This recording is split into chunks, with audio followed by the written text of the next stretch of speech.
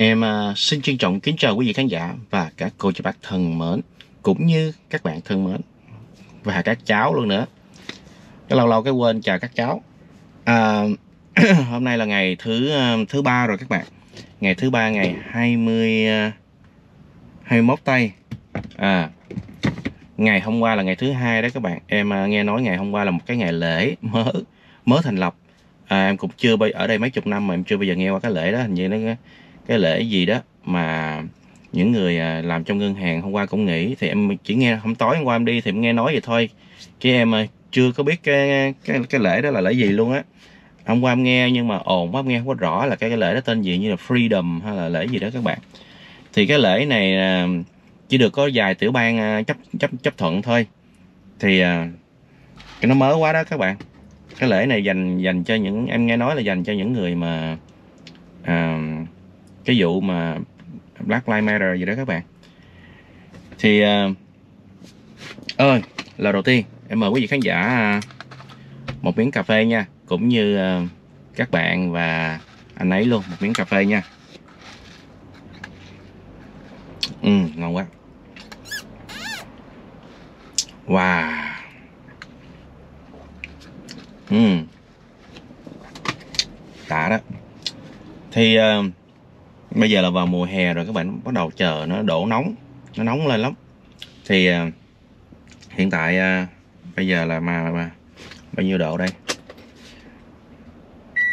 73 độ à các bạn. Hiện tại bây giờ là khoảng 73 độ. Thì à, ngày hôm nay là ngày thứ ba nữa. Bên Việt Nam xem cái clip này của em là ngày thứ uh, thứ tư. Là tự nhiên nó đau cổ đây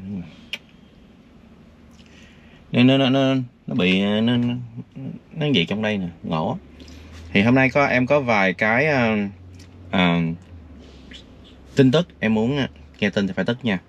Em muốn chia sẻ cho các bạn biết. Thì trước tiên hết á là có một cái bài à, à, về à, dự à, tình thức bồng lai tiếp nha các bạn. Tại vì uh, em thấy cái bài của đăng cũng hay và nói về uh, mấy vị luật sư đã uh, gửi đơn lên trung ương.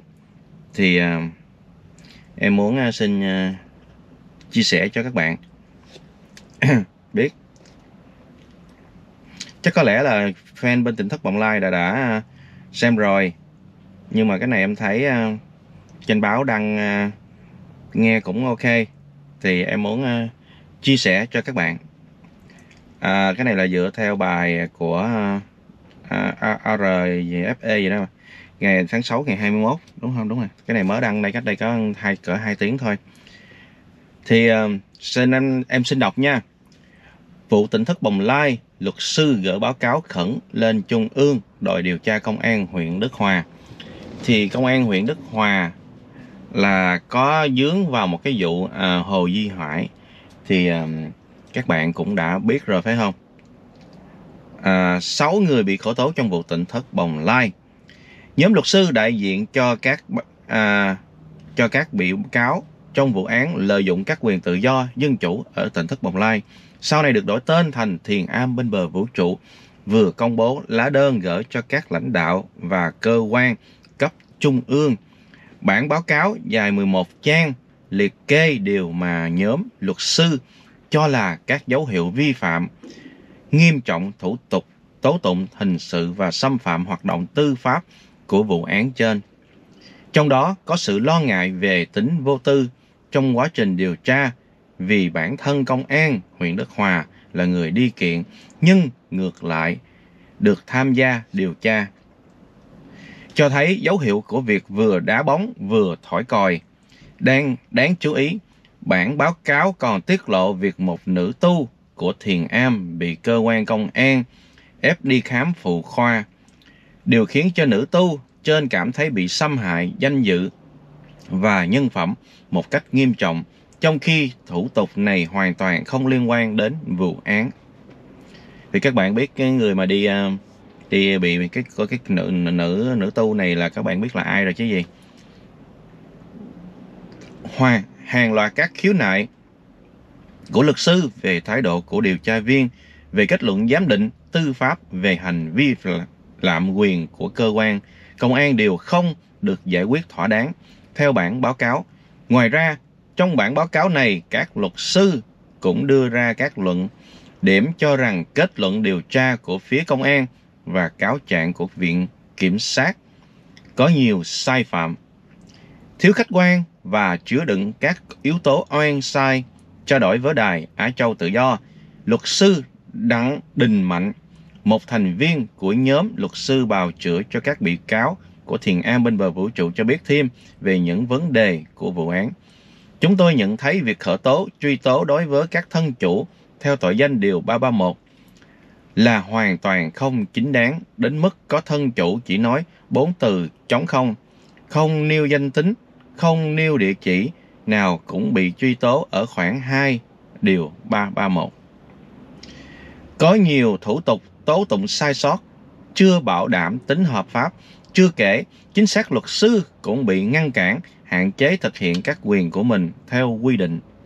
Theo đó, chúng tôi liên tục khiếu nại nhưng hầu như không được giải quyết hoặc chỉ được giải thích qua loa, không đúng vấn đề hoặc đùng đẩy nhau trả lời.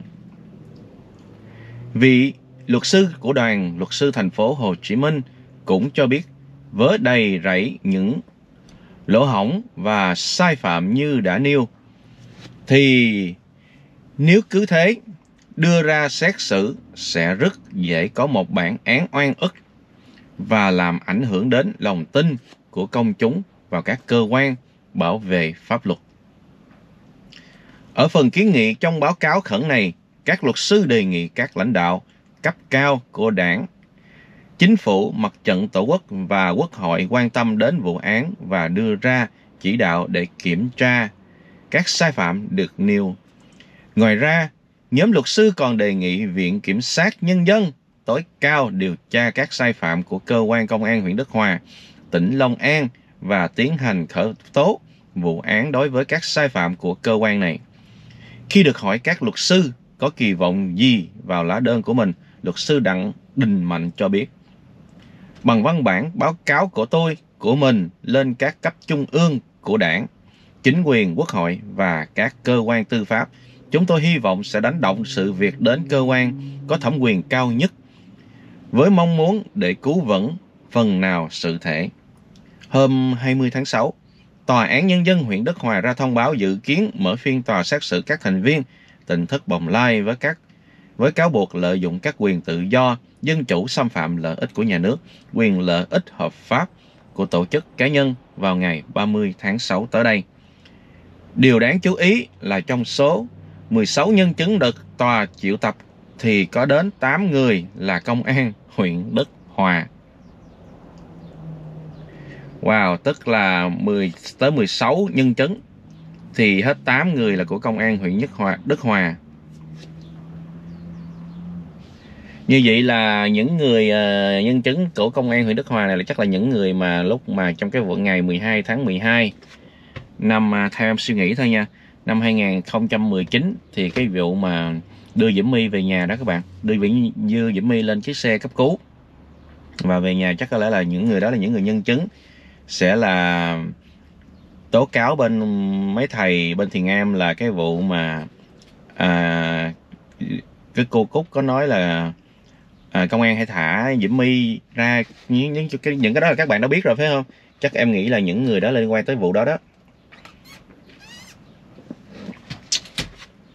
À, cái vụ này à, ngày 30 tây như vậy là còn khoảng đâu à, một tuần nữa thôi. Hôm nay là 21 tây rồi là 9 ngày nữa. Bên bên Việt Nam là 22 22 tức là khoảng đâu 8 ngày nữa là coi như cuối tháng 6 30 tây này sẽ ra tòa. À, các bạn cũng biết thì em à, đã ra tòa mấy lần rồi. Mấy lần trước đó là về vụ xét xử uh, 50 con đồ. Cái lần đầu tiên ra đó là họ um, họ muốn xét xử về 50 công đồ xong rồi họ đẩy qua họ xét cái uh, vụ mà đã thương tích thầy Nhị Nguyên.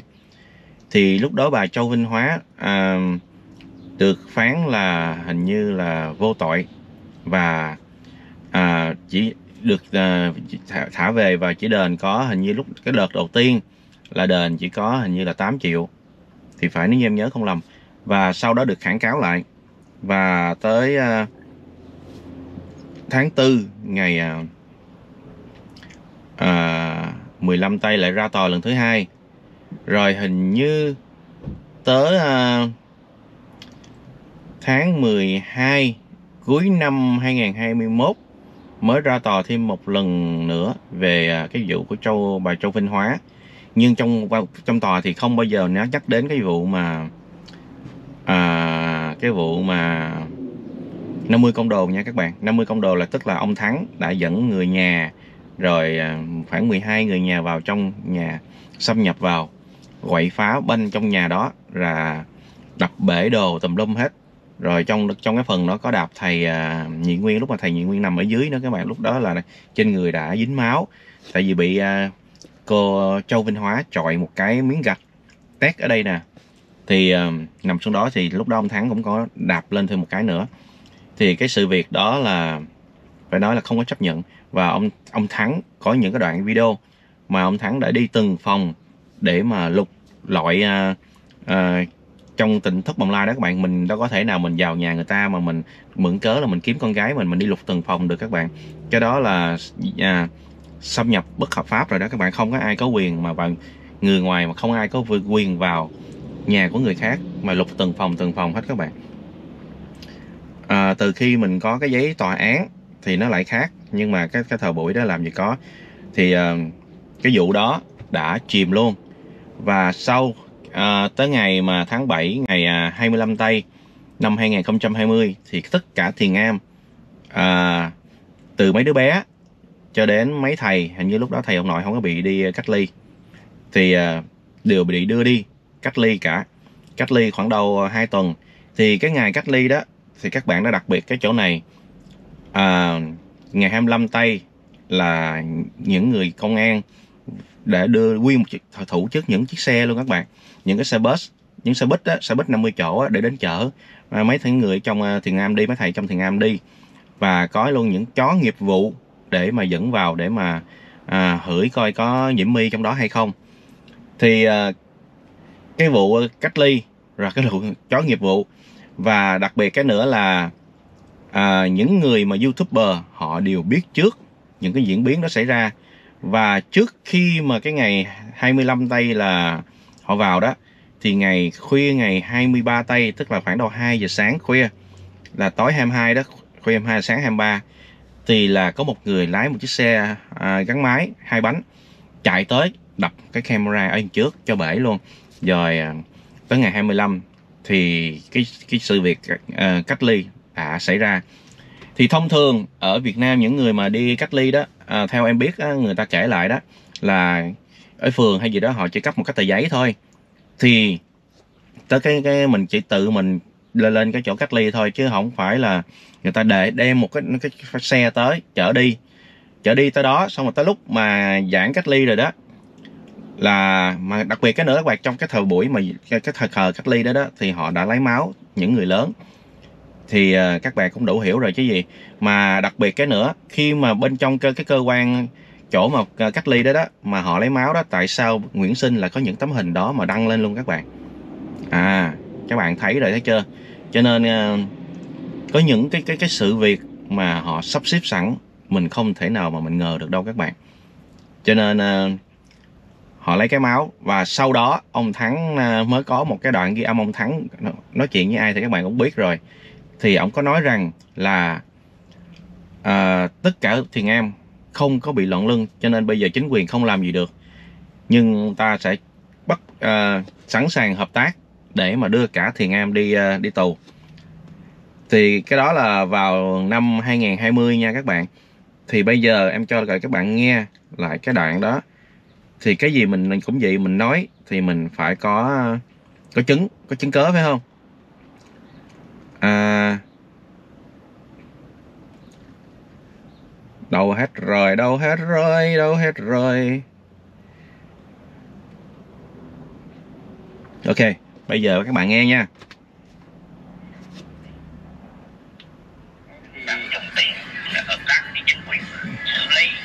Ta sẵn sàng dùm tiền và hợp tác với chính quyền nha các bạn.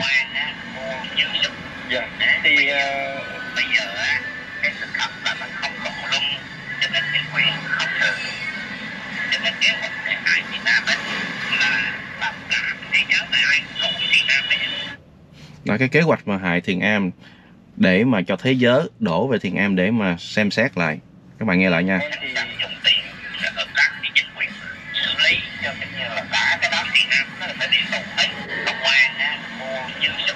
này ai? Cũng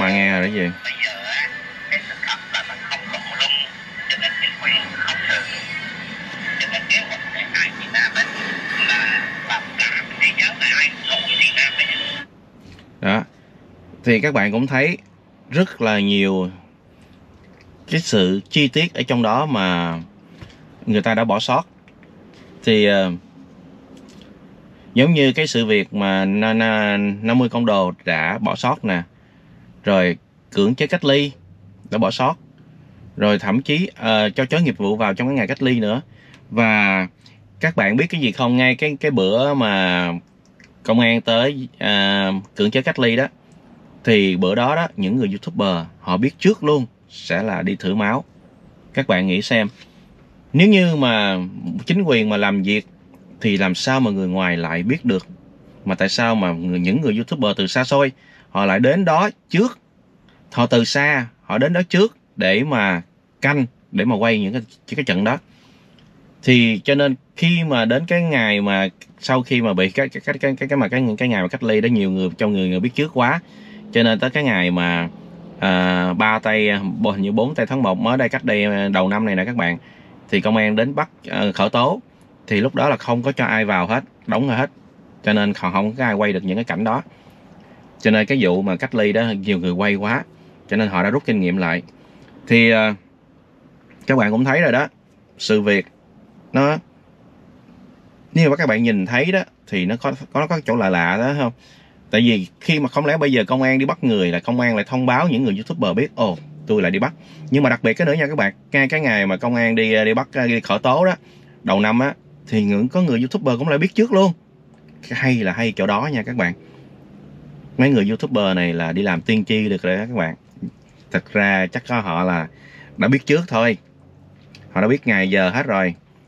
Nói chung là cái vụ án này à, rất là nếu như mình nhìn tinh vi mình nhìn thấy được đó thì mình mới thấy được cái khổ của họ của những người trong thiền am còn những người mà người ta không có thấy được đó trời ơi tụi này nó nó nó nó nó nó, gì đó nó, nó, nó, nó, nó, nó, những cái cô gái trong đó đó nó sanh con đẻ cái này nọ các bạn hiểu không tội lắm thị phi mà các bạn ok thì uh, bây giờ xin một những gài tin tức nữa nha trước khi uh, em nói về uh, cái cô Hà Thanh Xuân này đã trở lại và có thể lợi hại hơn xưa hay không thì mà không biết nha nhưng mà cổ đã vui. Cũng uh, từ ngày mà thị phi uh, sau cái vụ đám cưới ngày năm tây ờ, uh, 2 tây tháng 5 tới bây giờ cũng hơn gần 2 tháng rồi thì cô ta mới xuất hiện lại trên uh, Facebook. À, ok. Bây giờ thì uh, ngày hôm qua ở bên uh, uh, hình như bên La Mã hả ta? Greece Ai Cập á chắc là Greece là Ai Cập phải không? À, thì có hàng ngàn người ở bên England bên Anh đó các bạn bên England nước Anh thì có cả hàng ngàn người đứng ở ngay chỗ mà chỗ cổ á cái cái, cái những cái đá cổ á các bạn để mà thưởng thức. Khoảng 6 ngàn người luôn để mà thưởng thức cái uh, uh, cái ngày mà dài nhất của năm và cái ngày bắt đầu của mùa hè. Thì trong trong trái đất mình chỉ có chỗ đó là được cái được cái cảnh đó thôi. Thì à, bây giờ em à, sẽ cho các bạn xem. Thì sau đây em mời các bạn à, xem cái cái khúc đó nha. Hồi nãy đang hãy cái máy nó nóng nó tắt bây giờ mình xem nha. Đây đây là cái khu à, mà khoảng 6.000 người tập trung lại để mà nhìn cái ngày mà dài nhất uh, của trái đất này đó các bạn cũng bắt đầu mùa vào mùa hè đó. Thì à, à cái năm 2020 và năm 2021 vì mùa dịch cho nên ở đây họ không có cho ai tới đây và họ chỉ có livestream cho người ta xem thôi. Thì ở đây là có cái đoạn video đây mình xem nhé.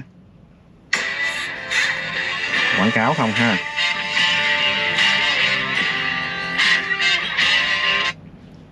Đây nè các bạn đó người ta quay lại đó. Đấy ha. Đó, cái ngày mà phải nói là dài nhất luôn. Stonehenge.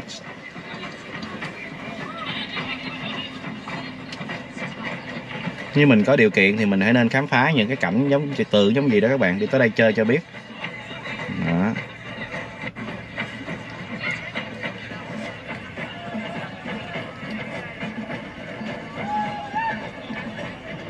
Thì uh, cho các bạn coi sơ sơ vậy thôi. À, nó còn uh, nhiều lắm. Và bây giờ thì thì thì thì mình sẽ xem cái phần mà về cô Hà Thanh Xuân này nha các bạn. Thì cái cái sự việc của cô Hà Thanh Xuân này uh, phải nói là có rất là nhiều người đã à, bức xúc về cái chuyện của cô thì ờ, mỗi người cá nhân và mỗi người có một cách lối nhìn khác nhau. Thì theo lời kể của hai vợ chồng thì hai người hai người à, Hà Thanh Xuân và Thắng Ngô đó là quen nhau cặp bắt đầu cặp nhau là vào tháng 3 tới tháng 5 là cưới cho nên có hai tháng thôi là đã cưới. Thì uh, bây giờ mình xem coi cô Hà Thanh Xuân nói gì nhé. À, từ ngày ba tây cho tới ngày uh, à, à, 3 tới tháng 5 tới bây giờ luôn mới đăng là cái bài lần đầu tiên nha các bạn. Thì đây là cái Facebook của cô Hà Thanh Xuân đã đăng trên à, cái Facebook của mình. Thì em xin đọc đôi lời nhé. Cảm ơn khán giả khắp nơi luôn yêu thương và quan tâm. Gửi lời thăm hỏi đến Xuân thời gian qua. Xuân vẫn ổn nha cả nhà. Xuân đã quay lại với công việc sau một thời gian nghỉ ngơi chăm sóc gia đình nhớ cả nhà nhiều lắm. Thì uh, Hà Thanh Xuân thì sau khi mà đám cưới xong về Mỹ có hai hình theo em biết là có hai cái show cái show đầu tiên quay về đó là hát ở tại chùa và cái show thứ hai là chung với lại anh à, Văn Sơn. À, Văn Sơn Bảo Liêm Bảo Liêm đó các bạn. Thì cái đó là vào hình như là vào ngày à, 3 tây tháng 6 cũng là cùng một cái ngày mà show mơ ước của Nhung đó các bạn. Để em coi coi à, có có có cái hình đó không? Thì à, em chia sẻ cho các bạn nhé. À, ngày 6 tây rồi hả? Ok. Đó là ngày à, đây là có có đa nguyên đó các bạn. Thì em cho các bạn xem cái hình này là đây. Là sorry nha các bạn bị sặc nước. Lúc mà cô Hà Thanh Xuân diễn ở à, à, ở sông bài đó các bạn cùng với lại Đan Nguyên. Nguyễn Hồng Nhung Bảo Liêm và anh Văn Sơn thì thấy cũng rất là vui ha.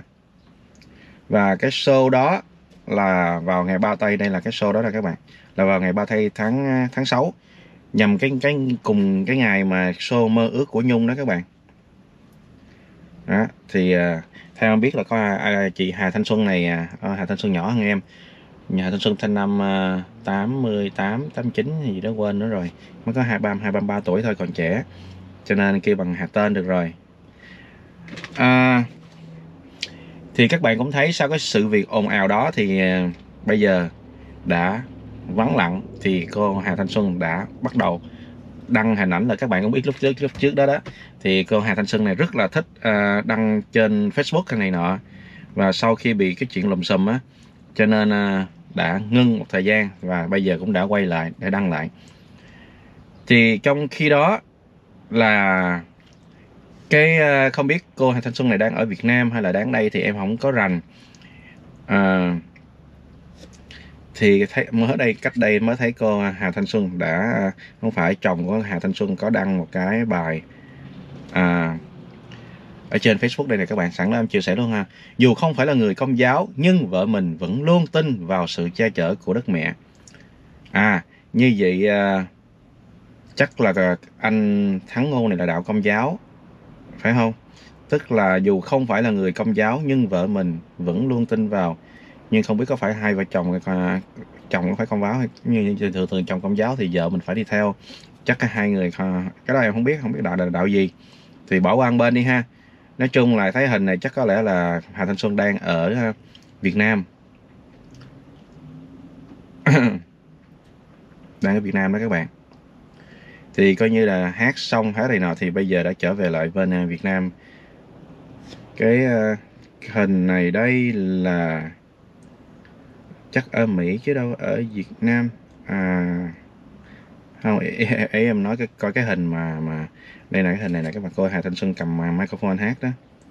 Thì uh, em không biết ở đâu nhưng mà em chưa có thấy không có thấy cái poster. Nói chung là anh Thắng Ngô bây giờ đăng rất là nhiều hình của cô Hà Thanh Xuân. Thì giống như lúc đầu anh Thắng Ngô cũng yêu quý vợ mình à, khen vợ mình giỏi khen này nọ thì bây giờ cũng vậy. À, khen Hà Thanh Xuân à, trẻ thông minh đẹp. Thì à, em cũng mong hai anh chị à, trăm năm hả? Tại vì anh anh Thắng Ngô này cũng 50 tuổi rồi chắc. À, chắc cũng gần 50 em không biết tuổi năm bốn mấy 50 gì đó. Thì coi như là gần 50 năm nữa là coi như là mình cũng chúc luôn là trăm năm hạnh phúc đi ha.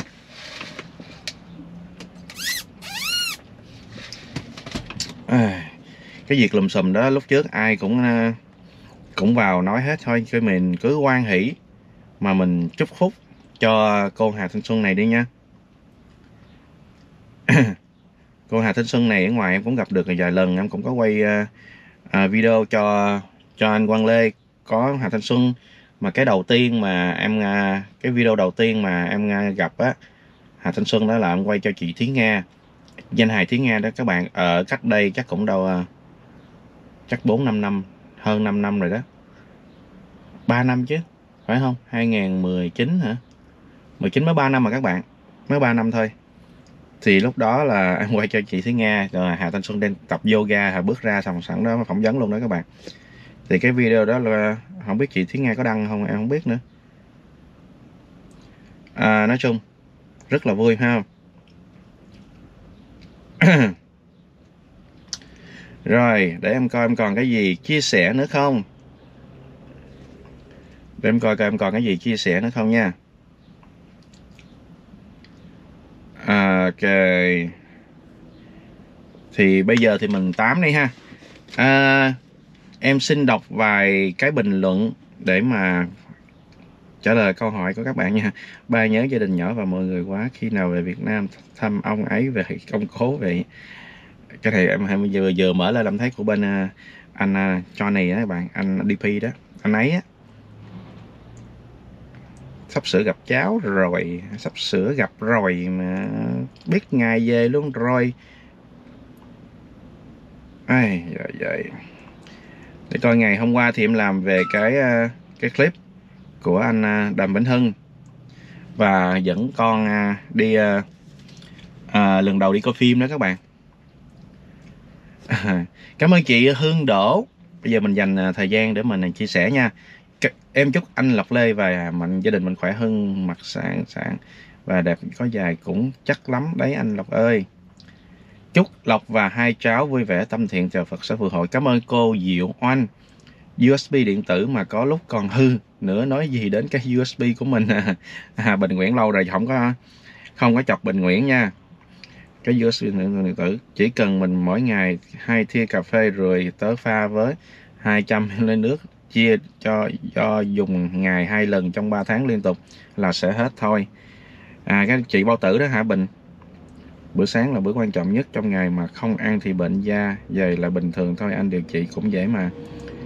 Đúng rồi bữa sáng thì uh, mỗi lần sáng ít có ăn ăn sáng lắm.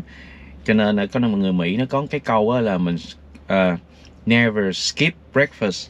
Tức là mình đừng bao giờ mình bỏ cái cử sáng. Thì họ có cái câu đó đó ba ông hề này mà sắp lại thì khán giả. Đúng rồi Việt Thảo với lại anh Văn anh Văn Sơn. Với lại anh Bảo Liêm nhập lại là mà hay là phải nói là rất là tuyệt vời phải không? Có một kỳ à, em quay cái à, cái clip đột nhập nhà anh Bảo Liêm. Thì lúc đó đưa anh là làm Ozin cho anh nó đưa anh lên phi trường về Việt Nam luôn. Không biết cái clip đó các bạn có coi chưa? Thì chắc bữa nào cũng à, làm lại đăng lại cho các bạn xem mọi người ơi hãy hoan hỷ đi đừng suy nghĩ nữa. Mạnh quỳnh có muốn giúp à, thì kệ đi ai người đó làm không ảnh hưởng. Hoặc hình 3 hoặc 4D thì xem khác gì phim bình thường đâu anh. Bữa nay thứ ba rồi anh đúng rồi. Bên nay tí năm bình thì xem cái này đó là ngày thứ tư luôn rồi. Thời gian. Thấm thoát công nhận phải nói là à, rất là mau phải không? khoe gì đó dài 8 tỷ chứ 80 tỷ không làm gì được ít cho xã hội thì cũng chẳng được tiếng tâm. Gì còn phi nhung còn sống có từng có sống có từng đó tiền thì nuôi được cậu trẻ mồ côi. Thôi xã hội đâu dành tiền mà đồ đẹp đi dài đẹp khoe chi. Bạn nói rất hay dạ. Youtube tào lao nhiều làm ganh ghét nói làm không hoang mang. Lúc phi nhung còn sống cũng thương, thương yêu và giúp cho thế hệ trẻ chứ không ganh ghét đâu mọi người. Mạnh quỳnh với phi nhung đã hiểu nhau 22 năm. Bạn à là nói để an ủi động viên có nhiều gia đình vì mưu sinh trong cuộc sống không thể chăm sóc cho cha mẹ vì ở nhà thì không có tiền. Nếu đi làm để kiếm cơm thì không chăm sóc được. Đến khi cột được một thì chút cha mẹ không còn nữa. Nói chung đâu cũng là cuộc sống. Dạ đúng rồi. À, nhưng à, mình đi làm kiếm cơm thì đúng rồi nhưng mà mình cũng à, à, nên à, để mà dành một chút thời gian dành một chút thời gian để mà thăm à, coi như là hỏi han cha mẹ mình hay là mình dẫn cha mẹ mình đi ăn uống gì cả nếu như mình có thể. Thì tuy rằng công việc cuộc sống rất là quan trọng nhưng cũng phải nên chích một chút xíu thời gian ra cho cha mẹ mình. Có ai nặng tình với bạn như anh Mạnh Quỳnh không? Trên đời có chỉ có một không hai. Anh anh ấy bao tâm bao lâm tư khố trời ơi tiếng việt em càng ngày em càng dở luôn á các bạn quá dở luôn. Cũng giống như phi nhân đang được phú quý rồi cũng bị đồn lừa. Tựa lơ nhưng vẫn một lòng nâng đỡ cho khắp nơi. Ok khoe bình an nhưng từng rác cũng rất đẹp mà cũng cũng lịch sự. Dạ đúng rồi. Lộc ơi thấy em tâm sự chị thương em quá rất nhiều người cuộc sống tự vươn lên rất cực. Dạ cảm ơn chị à, uh, hoa, hoa hoa trang. Chị có một người bạn ở Canada sống một mình từ năm 20 tuổi đến bây giờ gần 60 tuổi cô đơn độc thân mã xứ lạ quê người nhưng độc một cái có vợ và hai đứa con rất hạnh phúc. Quê người nhưng được một cái. Và dạ, cảm ơn chị à, Lan Tạ. Tại Mạnh Quỳnh với Dương Huệ mà hình ảnh của chị Phi Nhung bị dán lên. Nào đâu có chuyện đó đâu. Có những chuyện Mạnh Quỳnh làm mà không nghĩ tới hậu quả. Mạnh Quỳnh có thể xây dựng cho Dương Huệ Hà Nội một show diễn khác hay hát. Song ca với Dương Huệ cũng ok à, Dương hoại tuổi Dương hoại tôi ghét. Trời. Ok thì à, không biết ai dân Nhung nhìn thấy đau lòng. Nếu không có Phi Nhung thì không sao họ vẫn đầu kể những đây coi. Cố gắng lên lọc lê nhé. Hãy đứng vững trên đôi chân của mình. Và cảm ơn chị à, Hương La ở trên mạng quyền nhiều đúng rồi. Người có tâm đức lúc nào cũng đối xử không tốt còn những người có lương tâm hẹp hòi thì tốt hay sao? Mình mong các bạn sự thêm. Nhưng hãy nhìn xem ở úc người ta dán hình ảnh lên thùng rác chuẩn bị mà ăn gạch nát thì cái cái vụ mà dán cái hình ở trên thùng rác đó là chuyện bình thường hay các bạn. Giống như bên à, trên hôm qua có làm cái clip đó đó, là bên thùng rác thùng rác ở bên à, bên úc đó, họ thiết kế thiết kế ra là có những cái cái cái cái khu thẳng á để cho mà à, người ta dán những cái à, cái poster lên để mà quảng cáo. Dán xong thì nhà thùng rác kế bên tiện tay dục luôn phải không? Tội nghiệp cho phi nhung tịnh bình quá quýt làm cam chịu quýt làm cam chịu. Mình quỳnh đã có thấy hậu quả chưa? Xem thường khách khán giả cho nên giờ đây gia đình các con và hậu vệ phải gánh chịu. À, ứng xô khán giả khán giả kiên quyết phản ứng xô nhớ nhung mà có là đây ông Minh Quỳnh chỉ biết chuộc lợi cho ông và năng trò Dương Huệ là được. Minh Quỳnh sẽ công muốn sẽ công mong muốn của khán giả. Không để Dương Huệ xem được vào gia đình. Phi Nhung các vị ơi hãy thương Phi Nhung và các con của Phi Nhung. Ta ủng hộ các cháu còn mình không thích họ. Hương hoại thì mình đừng thèm nhìn. Dạ yeah, thì uh, không biết cái show Đà Nẵng à, nhớ Nhung show Đà Nẵng sắp tới đây thì sẽ như thế nào.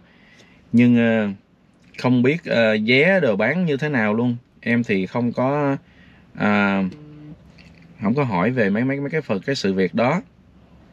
Thì uh, cũng chưa biết như thế nào. Vì show diễn này có Dương Huệ nên mới xảy, xảy ra vậy hy vọng Dương Huệ sẽ mới tay trái à, có nhiều người vẫn còn ấm ức về cái cái sự việc của của cô uh, học trò. Của cô học trò mà anh uh, à, Mạnh Quỳnh đã giới thiệu trong cái show à, nhớ nhung đó các bạn. Thì à, cũng à, cũng tội. Các bạn biết không em đậu cái khu này đó là những người mà vô gia cư đó họ có xe hết nha các bạn. Họ ngồi trong xe hồi nãy giờ em ngồi đây cũng vậy này cái xong rồi họ bước ra xe họ cầm cầm bảng cái họ tới, tới mấy xe đậu đây lần các bạn. Ở bên phải của em á là có một chiếc bên trái của em á là có một chiếc. Ở đằng trước mặt em là có chiếc nhưng mà em không dám cầm máy quay họ. Cầm máy quay họ họ tới họ xử em luôn á. Cho nên mình đâu biết được các bạn. Còn mà mình muốn quay họ thì mình phải đậu ở đâu từ xa để mình quay cho họ bước xuống xe này cho khán giả xem. Đó trước mặt em á, là có một ông đang đứng đó họ bài biển nhau. Hồi nãy họ cầm à, à cầm những cái lon bia họ vô xe họ uống đó các bạn. Thì bây giờ em thấy họ cầm cái bảng rồi chuẩn bị đi qua bên kia xin tiền. Thì à, họ chắc có lẽ là thay ca với nhau á các bạn. Ở đây à, cho nên à, các bạn không phải là mình em nói gì nhưng mà những người mà à, đứng ngoài mà, mà cầm bảng đó họ vẫn có xe. Em thấy đây ba chiếc đầu luôn các bạn. Bên trái của em là chiếc xe đen các bạn thấy đấy đó là cũng là một số người vô gia cư đang ngồi trong đó luôn. Và bên phải của em đó là cũng có một chiếc xe màu trắng đang đậu nhưng mà em em không dám cầm quay quay mất công. Họ nói là mình à, này nọ. Họ tới họ xử em á các bạn hiểu không? Nên các bạn thông cảm nha. Em biết cái ổ ở đây rồi. Thì uh, mai mốt em sẽ kiếm chỗ nào để em đậu em canh em quay. Nói chung thì các bạn khi mà các bạn mình mình có lòng tốt mình cho tiền họ thì cái đó cái lòng tốt của mình nhưng mà mình phải cho cho đúng. Ai cũng có xe hết các bạn. Đây em chứng minh thấy là những người này đều có xe hết. Họ đậu ở đây nè ba chỗ luôn. Đây bên đây đây mà xe cũng ok thì à, đó là cái sự việc mà em muốn chia sẻ cho các bạn thấy à, về cái cái cái cái cái tin tức ngày hôm nay. Thì à, là như vậy đi ha. Em cũng không biết coi còn cái gì để em trả lời nữa không. Trước khi em chấm dứt cái video tôi ngồi ở đây nguy hiểm quá. Không biết họ có theo dõi họ nhìn mình hay không nữa. Giống như uh, thôi chắc em cũng phải đi thôi. Ở đó lây lâu quá nãy em đậu đi cũng lâu rồi. Mất công họ nói này nói nọ. À, cũng không có muốn uh, mít lòng các bạn. Thì ờ, không phải mít lòng mà là hiểu lầm. Mất công họ hiểu lầm rằng ờ, là mình đây theo dõi họ nữa. Để quay phim tại cái máy em để trước rồi này hồi nãy là đi ngang họ nhìn mấy lần rồi đó. Thôi em xin uh, chấm dứt cái video tại đây. À, nếu như có yêu thương em thì hãy tặng cho một cái đăng ký. Nhớ bấm like bấm share và bình luận cho em biết luôn nha em xin chúc các quý vị khán giả một ngày giữa tuần thật là nhiều ấm cúm và hạnh phúc. À, cái gì cũng vậy đời nó rất là vô thường cho nên mình phải à, cẩn thận và phải à, à, làm những gì mà mình muốn mà mình có thể làm được và hãy à, yêu thương nhau khi ta còn có thể. Đừng để trễ rồi mới hối hận nha. Thôi em xin chấm dứt cái video tại đây. Nhớ đăng ký nha các bạn. Bấm cái cái cái cái chuông mà đỏ đỏ đó là là là, là để đăng ký cho em nha. Và à, thấy chưa? Họ đi ra rồi đó. Bấm cái chuông đỏ đỏ đó để mà đăng ký cho em nha. Và à, bấm bấm cái chuông bấm cái chuông bấm cái chữ đỏ đó là để đăng ký. Bấm cái chuông á là để theo dõi à, những cái mà à, cái bài em đăng á ở đây họ hồi nãy giờ họ quản hết rồi. Thôi em đi nha các bạn, không thôi, ở đây lâu quá, mất công họ nói là mình theo dõi họ nữa. Thôi, xin chấm dứt video tại đây và xin hẹn các bạn trong những video clip kế tiếp. Bye bye.